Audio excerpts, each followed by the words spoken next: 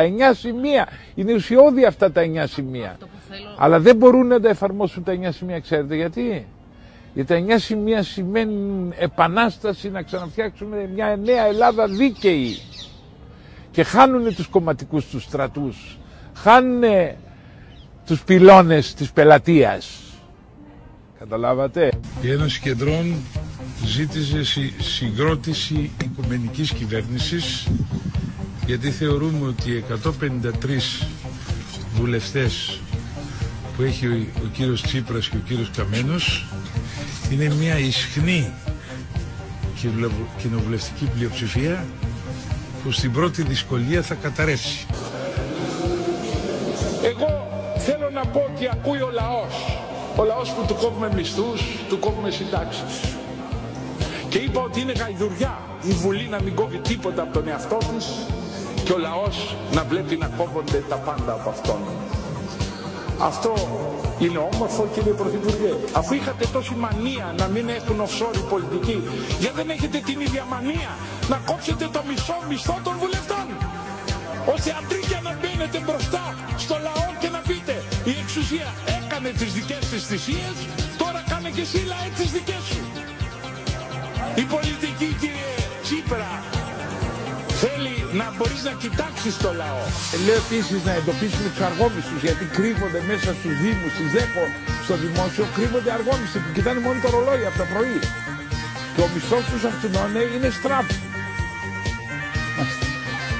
Και οι ξένοι λένε, αν θέλετε να σας πω τι λένε, που εγώ λέ- τον έχω πολύ άσχημα σαν Έλληνας, ότι στον ιδιωτικό τομέα έχετε στρέψει όλη τη θυσία. Το δημόσιο τι ιερές αγελάδες είναι αυτές; Το είπα και του Βεντζέλου και λέει λιγόστεψε 300.000 λέει στα 5 χρόνια. Μα είναι οι, αυτοί που συνταξιοδοτήθησαν. Μάλιστα. Δηλαδή ο Βενιζέλος λέει μείωση του δημόσιου τομέα, αυτούς πήραν σύνταξη. Δεν εννοούσα μόνο αυτούς, εγώ εννοούσα να εντοπίσουμε τους αργόμισθους. Αυτούς που είναι χαραμοφάιδες, κομματόσκυλα και κακώς λαμβάνουν μισθό. Εξέδωσαν από τη Νέα Δημοκρατία ανακοίνωση ότι η απλή αναλογική είναι βόμβα εις βάρος της δημοκρατίας. Οι ίδιοι είναι βόμβα. Η απλή αναλογική είναι το βάλσαμο που θα βγάλει τη χώρα από τα διέξοδα. ο πρεσβευτής ενός μεγάλου κράτους ότι έχουν δεχτεί τον Νόβα Μακεδόνια όλοι. Και ο Κώστας ο Καραμαλής και ο Τσίπρας και ο Σιμίτης και ο Γιώργος Παπανδρέου όλοι έχουν δεχτεί λέει, τον Νόβα Μακεδόνια. Εσείς κύριε Λεβέντη δεν θέλετε η λέξη Μακεδονία να είναι στα Σκόπια; Του είπα και να το έχουν δεχτεί αυτοί δεν ρώτησαν το λαό. Ο λαός διαφωνεί και έργο της Ένωσης Κεντρών και όλων των υγιών δυνάμεων είναι να αλλάξουν όνομα τα Σκόπια. Γιατί έχει τραυματιστεί το ηθικό της Μακεδονίας. Και είπε ο κύριος Κατρούγκαλος στον βουλευτής Γεωργιάδη Μάριο της Ένωσης Κεντρών ότι δεν μπορούμε λέει, να κόψουμε τις συντάξεις από όλους τους νέους βουλευτές γιατί μερικοί ήταν και ανεπάγγελοι. Θα ακούτε, ήταν και ανεπάγγελοι. Ε, δώστε τους σύνταξη ΟΓΑ.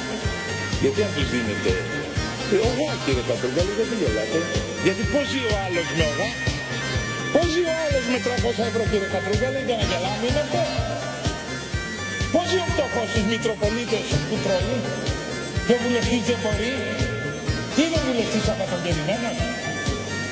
Και εμείς από την Ένωση Κεντρών δεν θα ψηφίσουμε διότι όταν μας έφερε το σχέδιο ο κ. Κατρούγκαλος του το είπα ότι όταν αφήνει 3.000 το πλαφόν το ανώτερο εμείς θέλουμε 1.500 να γίνει το ανώτερο πλαφόν για κάθε συνταξιούχο.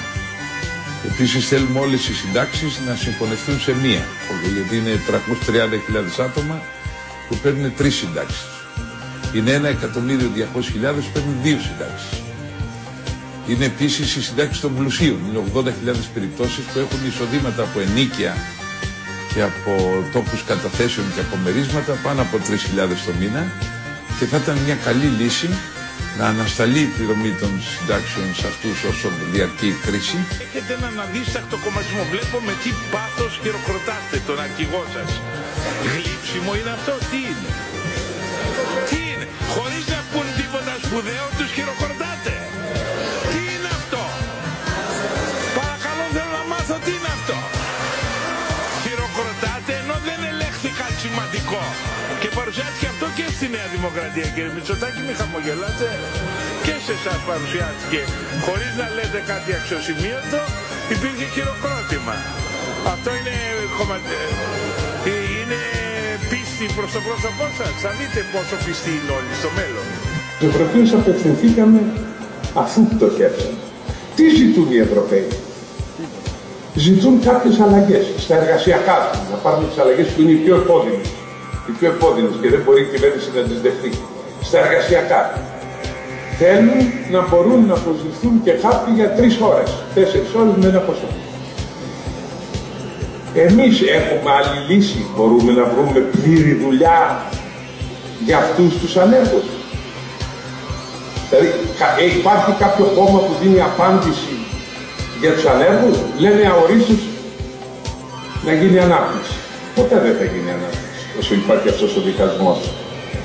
Επομένως, ποιο είναι το αποτέλεσμα, οι άνεργοι κατά το 1 τρίτο έφυγαν στο εξωτερικό και κατά τα 2 τρίτα εδώ ζουν με επέσχυντες συνθήκες παίρνοντας από τη μαμά τους, τη γιαγιά τους, φιλοδορήματα.